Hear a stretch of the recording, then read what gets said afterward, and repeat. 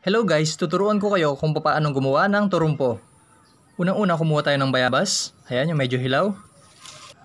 Kailangan natin ng bayabas, martilyo, tansan, pako, at tali. Butasan na natin ng tansan. Ayan. Kapag nabutas na, ipasok na natin ang tali at buhulin. Ayan. Ayan, lagay mo natin dito. At kunin ng bayabas at pako. Ayan, pukpukin na natin. Ayan. Kailangan gitnang gitna ang pagkapukpok. Ayan, kung matulis naman ang yung pako, kailangan natin kiskisin sa magaspang na bato para hindi delikado. Ayan.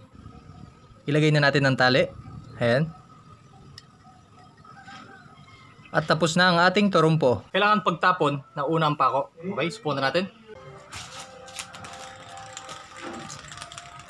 Gawin nyo na guys. Bye.